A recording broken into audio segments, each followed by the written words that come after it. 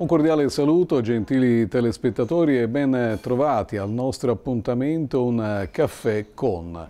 A prendere un caffè oggi con noi è Franco Vaccari, fondatore, presidente di Rondine Cittadella della Pace, educatore, psicologo, editorialista, insomma di cose ne fa veramente tante. È una persona conosciuta anche alla nostra emittente, quindi non ha bisogno di ulteriori presentazioni.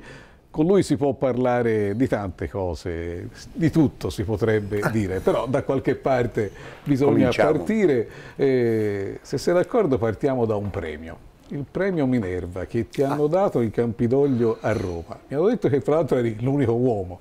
Non so, sì. c'è un motivo oppure... Sì, c'è un motivo, ah. c'è un motivo. Quando mi hanno telefonato dice sarai l'unico uomo. Dico, ma perché?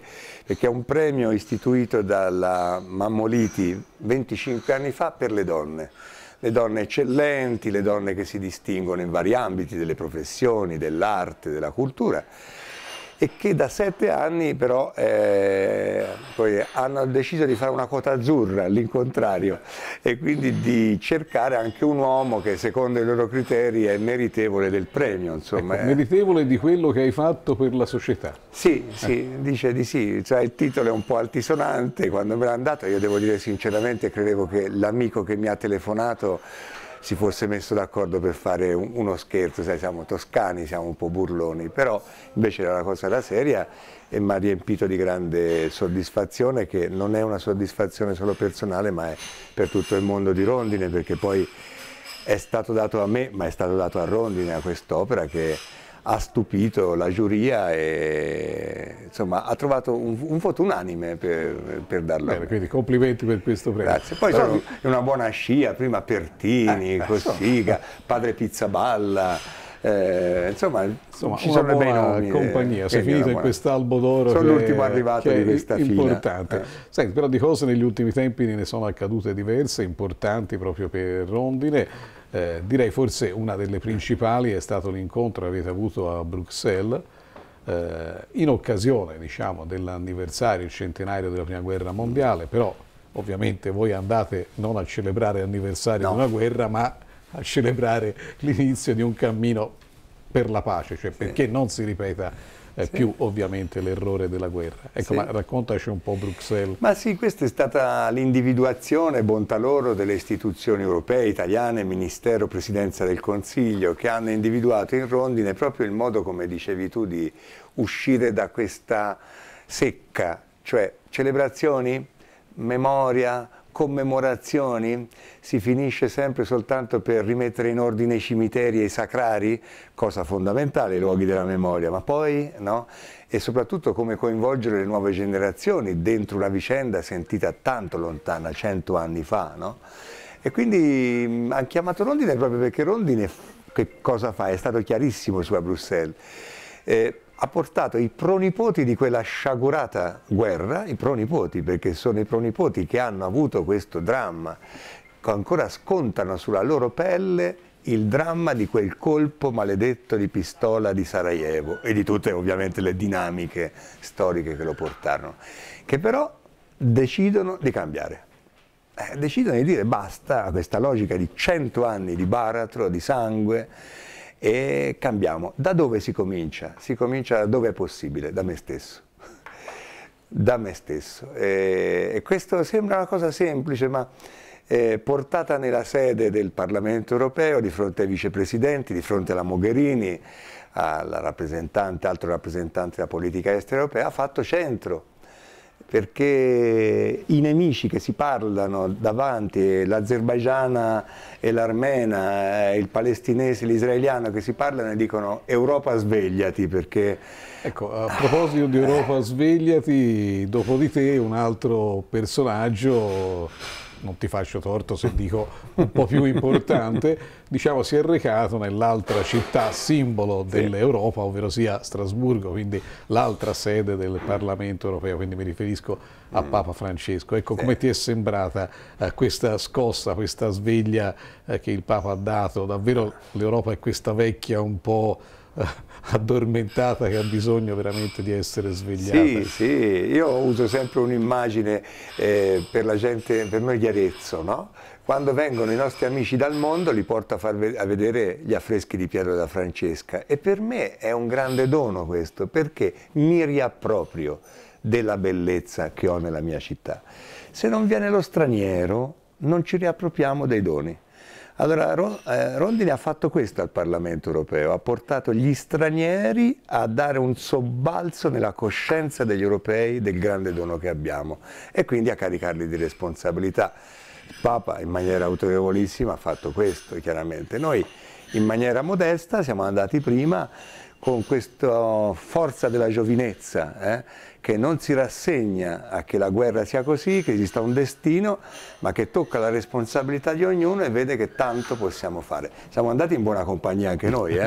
eh, avevamo, avevamo, il cardinale Bassetti, sì. avevamo Cucinelli, avevamo è la nostra testimonial Noah che è venuta no, apposta certo. da Israele per dare sia nella tavola rotonda, poi nello spettacolo nuovo che abbiamo lanciato, dissonanze in accordo, la sua forza artistica. Eh.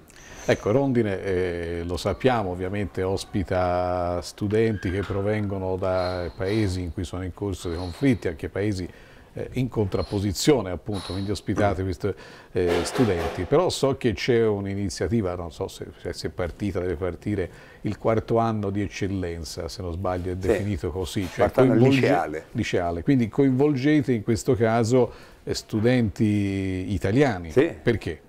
Sì, perché Rondine non lavora propriamente sullo scenario internazionale, ci lavora, ma perché l'interesse di Rondine è un interesse una parolona si può usare un, anche se siamo al bar, no? Insomma, a prenderci un caffè, antropologico, cioè la questione del conflitto. Noi lavoriamo sul conflitto, cioè noi vogliamo vedere se con una nuova cultura del conflitto il conflitto anziché distruggerci ci fa crescere. Questo è il tema di Rondine. Allora lo vogliamo vedere anche in ambito italiano e abbiamo fatto una quarta liceo, una classe, dove ospiteremo un giovane da ogni regione italiana e dai luoghi frontiera, quindi dall'Interland milanese, dalle zone di Mestre, ma anche dalla Locride o dalla Sardegna dimenticata o dall'Interland di Napoli ma anche dalla nostra Toscana. E quindi soprattutto lasciamo dei posti in questa classe meravigliosa, unica nel panorama italiano, lasciamo dei posti per giovani che quest'anno frequentano la terza liceo e che quindi vorranno frequentare la quarta liceo l'anno prossimo a partire dal primo settembre posti per giovani toscani e in modo particolare per Arezzo perché la dinamica di Rondine è questa, cioè offrire al proprio territorio una risorsa e un'opportunità che altrimenti non ci sarebbe. Senti, so che avete inaugurato anche dei nuovi spazi a Rondine, così. Sì, sì, la vecchia scuolina eh. elementare l'abbiamo ristrutturata e ospiterà, sarà di nuovo scuola dopo tanti anni di abbandono, sarà nuova scuola, ma una scuola del terzo millennio, una scuola che mette insieme i migliori giovani aretini, toscani e di tutta Italia, ma sono collegati ai giovani internazionali, quindi attraverso delle relazioni concrete, volto a volto, i giovani diciassettenni si aprono a un universo internazionale mondiale sui grandi temi della guerra e della pace, della speranza e del dolore. Quindi è un'operazione che apre il cuore e la testa a questi ragazzi in un'epoca in cui i valori devono essere, direi, mangiati. Eh? Ecco, a Rondine contano ovviamente le persone, le presenze, però è anche vero che chi non la conosce è anche molto bella, anche da vedere proprio per le strutture, questo volgo che voi avete eh, ristrutturato, quindi mm. è bella anche proprio da vedersi venendo sì. a visitarla o anche da fuori quando si passa eh, sì. con il treno si vede eh, questo. Sì. Grazie. Ah sì, sì, infatti ogni anno abbiamo qualche decina, poche decine di persone che vengono incuriosite e dicono ma è qui quel posto che si vede dal treno passando?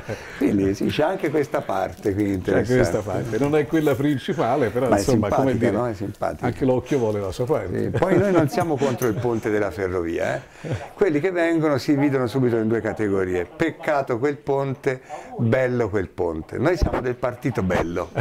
Anche se abbiamo sofferto il nostro conflitto quando l'hanno costruito perché era una valle incontaminata però ci ricorda che non siamo lontano dalla civiltà, perché Rondine vuole stare nel cuore della città idealmente e culturalmente, non vuole starsene in un eremo nella campagna toscana.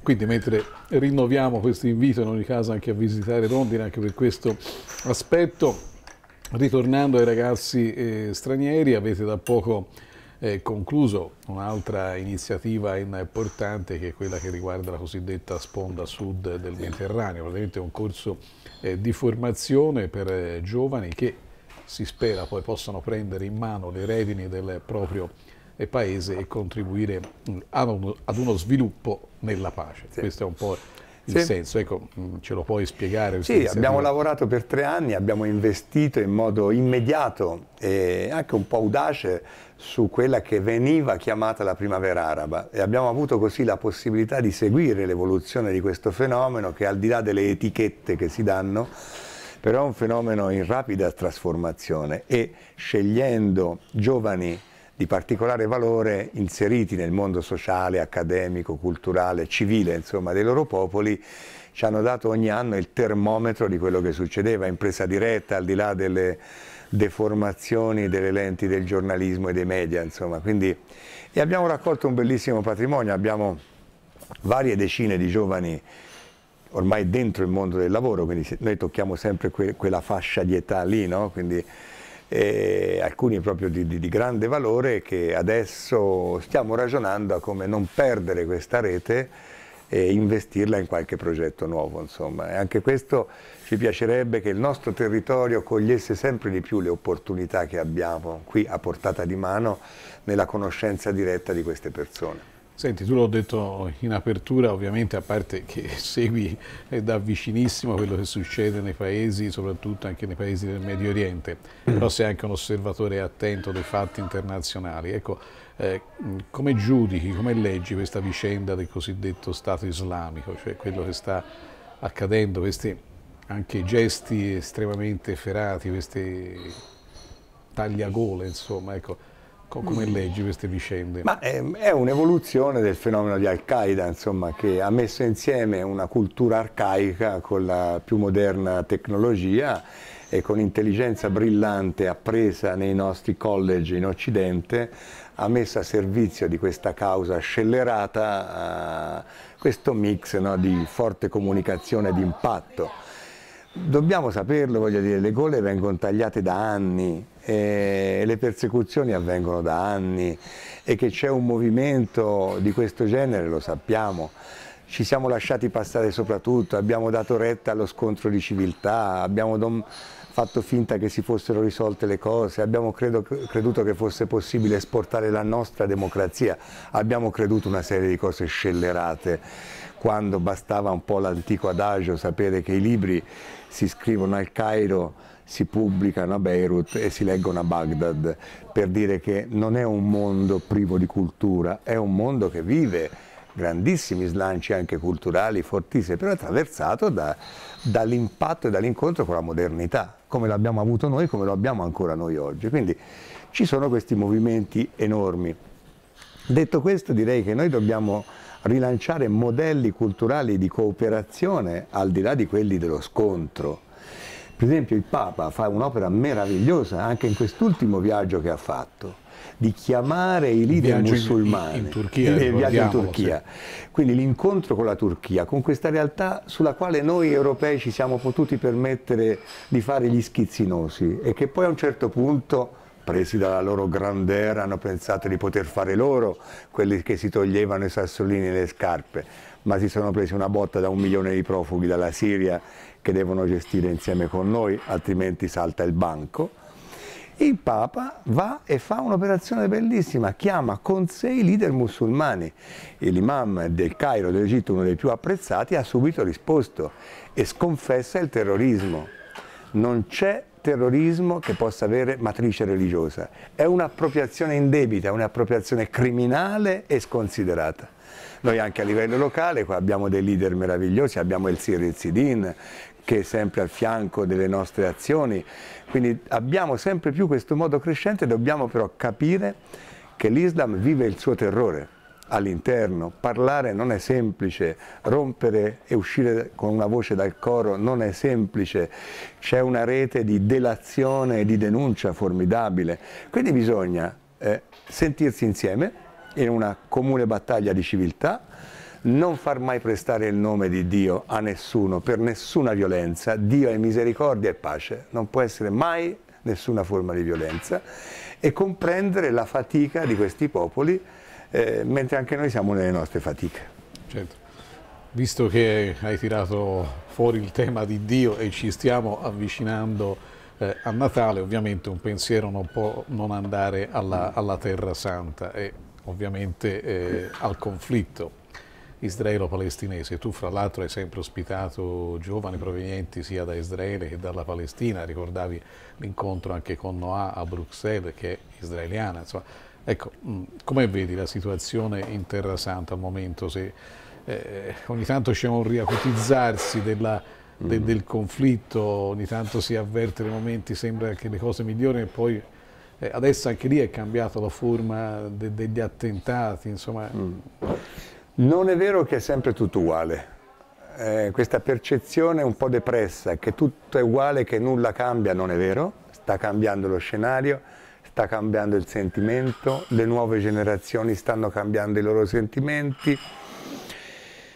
Io credo molto in questo lavoro che facciamo noi e tanti altri con noi della società civile, del people to people, della gente che si incontra, una delle testimonianze nel nostro spettacolo, che spero si possa far presto ad Arezzo, Dissonanza in accordo, abbiamo portato in giro per il mondo, ancora deve venire ad Arezzo, è, è, è, la testimonianza di un ragazzo israeliano che dice ironicamente lavoravo per la pace, da vent'anni credevo nella pace ma non avevo mai incontrato un palestinese. La prima volta che l'ho toccato a 24 anni a 2000 km di distanza a Rondine. Ma non è un caso isolato, questa è la condizione quindi se ci pensiamo un attimo è orribile e paradossale. Certo. Ci si odia generazioni intere e Senza neanche ci siamo toccati. Non solo conosciuti che già hanno un obiettivo enorme, ma neanche toccati fisicamente. Cosa vuol dire questo? Che qui c'è da lavorare. Insieme agli sforzi della politica e della diplomazia c'è da lavorare delle società civili e ci sono gli obiettivi minimi e semplici toccarsi, incontrarsi, conoscersi. Sono obiettivi universali, senza tempo, dobbiamo crederci. Proprio perché sono le cose più semplici, rischiamo di non crederci. Poi quando ci manca l'aria, ce ne accorgiamo, ma l'aria è il fondamentale. Incontrarci, conoscerci, stare insieme è il fondamentale di ogni relazione umana. Quindi anche per la Terra Santa è questo. Dobbiamo investire di più su questo perché sono impauriti reciprocamente e il Natale, credo che il, uno dei grandi messaggi del Natale è che il Dio di Gesù Cristo viene bambino per non farci paura. Quindi questo è anche il messaggio col quale possiamo chiudere senz'altro questa nostra conversazione. Ovviamente è sempre, è sempre, un piacere incontrarti, ragionare di queste questioni, quindi avremo opportunità anche di farlo prossimamente. Intanto ti facciamo gli auguri non solo per il prossimo Natale, ma anche per tutta l'attività importantissima che fai con Rondine Cittadella della anche Pace. Anche a voi, alla Grazie. vostra attività. A presto.